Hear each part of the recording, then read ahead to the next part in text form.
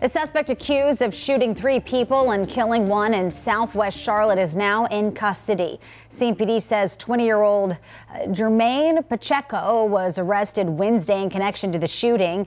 He's facing several charges, including murder. You may remember three people, including a 15 year old, were shot at an apartment complex on Lakemist Drive last week.